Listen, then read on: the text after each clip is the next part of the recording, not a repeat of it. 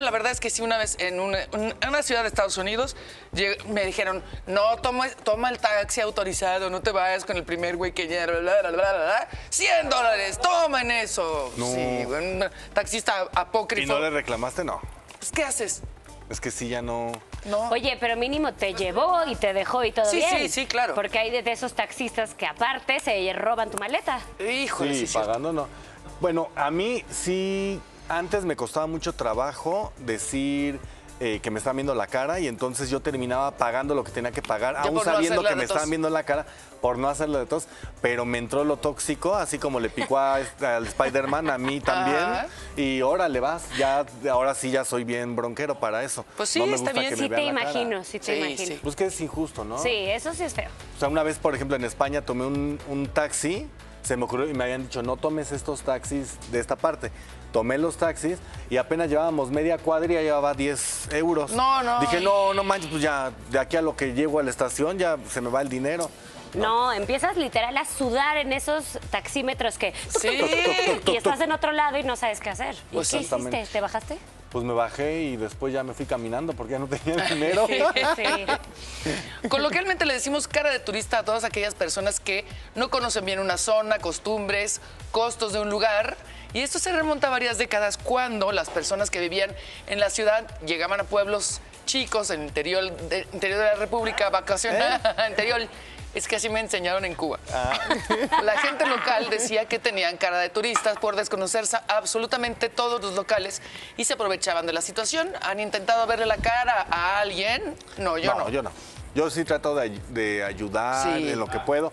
Y muchas veces cuando te preguntan una dirección y no sabes, prefiero decir no sé, Sí. hacer el típico de te vas a la derecha y la otra derecha y después pasando cinco cuadras. Pues ¿para qué? No, bueno. No, no, no está padre. Sí, no, nada más pierdes tu tiempo también diciendo direcciones que ni son. Exactamente, sí, no, no está padre. Pero digan. Cuando no me acuerdo a dónde quedó el guion, cállense. A todos nos ha pasado ¿Dónde no conocer. Aquí está ya, Ya. mira. A todos nos ha pasado no conocer un lugar o la gente. Vamos a ver cuándo nos han visto la cara de turistas. A ver, cantina de Star Wars. El viaje donde me vieron la cara, ya sea el hotel, precios, las letras chiquitas del All Inclusive. Ah, una Uf, sí esas ardí. arden. Ya me acordé, una vez que, pues ya, de- el desayuno es de 10 a 11, pues como que asumí que era el cortesía del hotel. Y yo, además que no desayuno mucho, dije, ah, pues voy a desayunar, pero así, tantito huevito, un panecito y ya. Y, y al final costaba 300 pesos cada desayuno y yo así lo ninguneaba. Ah, pues, al bien que es gratis. Y me, ah, me sale como que- 3 mil pesos de desayuno feo. Esa frasecita de, bueno, ya, porque es gratis, luego es la culpable. Por eso. Que ahí vas, bueno, ya voy a andar de abusiva y siempre hay letras chiquitas, ¿no? Pero no, en mi caso fue todavía peor, porque en lugar de, de tragar el doble, al fin que es gratis. No, exacto, dijiste, bueno, voy, un poquito. Ajá, entonces, ahora sí que los huevos me salieron a 300 pesos. No, había un señor, hubo, cuando yo me casé, estaba muy de moda un señor que en vez de hacer su agencia de viajes, te decía, yo te organizo tu luna de miel y, y te la doy mucho más barata y su especialidad era Asia, ¿ok? Y entonces le tenías que dar como si fuera un enganche para apartar. Y nosotros dimos ese enganche. Y luego resulta que él inventaba los hoteles y a los lugares que él te organizaba, que eras parte de su agencia. Entonces, pon tú, iban a ir Mariana y Lalo, y él en el hotel llegaba y decía, hola señora Jimena y Pérez, ¿no? O sea, lo que quieras. Inventaba los nombres para él tener precios exclusivos como agente de viajes para dártelos más gratis. Lo logró, lo hicieron así varias personas. Luego se le empezó a juntar la chamba y acabó siendo un desastre. A nosotros nunca nos regresó nuestro enganche, nunca nos Ah, pero no hizo el viaje. todo. No, bueno. Y tantas parejas que iban y regresan y decían, es rarísimo. O sea, era luna de miel y había dos camas. Este, o sea, todas las situaciones que están hechas para agentes y no gente que está yendo de luna de miel. Claro. O sea, hizo puras tranzas haciéndose pasar por agente.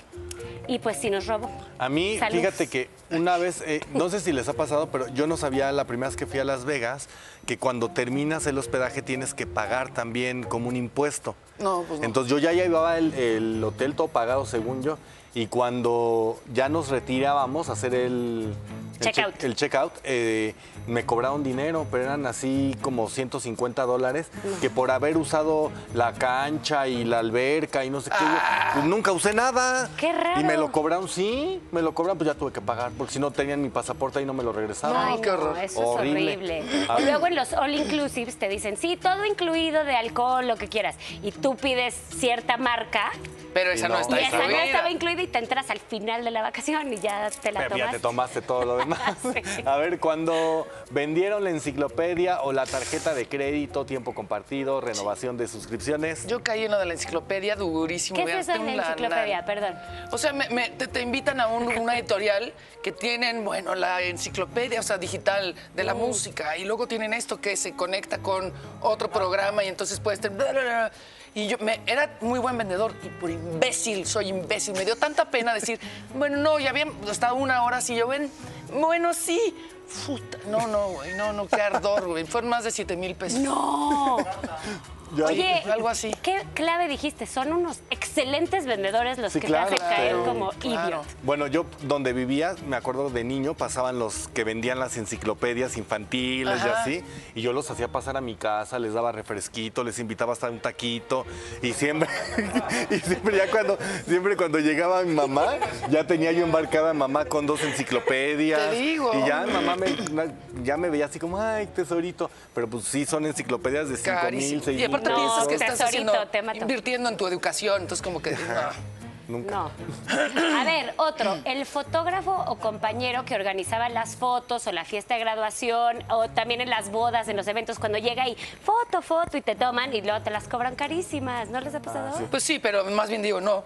Sí, Bueno. pero luego yo ya estoy ahí, ya sabes, en mi mood Ani de fiesta y entonces, ¡qué gran foto! La quiero y es malísima foto y te cobró Sí. muchísimo. Bueno, a mí, a en mi graduación me cobraron que si el video y la sesión de fotos sí. y no sé qué, nunca me la entregaron. Ah. O sea, la persona que era del salón que organizó eso, pues jamás la vi y ya nunca tuve mi dinero. rata. Te juro que a mí tampoco me la entregaron, estoy captando ahorita. ¿Verdad? Pero no, ella no fue como de rata, fue como que se le olvidó. Yo Ah. estaba trabajando ya, Ah, igual. pero después, bueno, sí, ratas asqueroso porque nunca me lo regresaron. ¿Sabes qué pasa? Luego a ti también se te olvida. O sea, a ti no le fuiste a decir, Sí, oye, no le fui a amiga, decir ni y yo. pues ya tampoco estaba al pendiente Sí, ya yo de sí mí. hubiera querido. Oye, la propuesta laboral que me querían ver la cara de turista, Sí.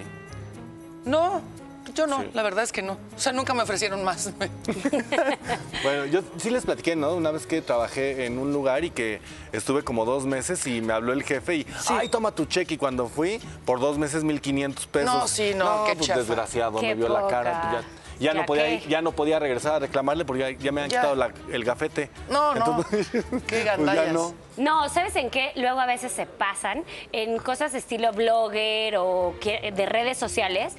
Ya está cambiando, pero muy al principio todo era sin pagar o, ay, te, te voy a dar exposure. Por intercambio. Que te vea, no, deja tú el intercambio. Voy a hacer que te vea la gente, es que se dice exposure en el mundo digital. Ajá, ajá. Voy a hacer que te vean, vas a hacerte este, que vean más tu canal y ese tipo de mentiritas que la verdad ni funcionan ni es cierto y no hagan eso. No. Porque luego hacen eso a los chavitos que están empezando en el mundo de pues hacer crear contenido digital Sí, y se pasan de súper lanza.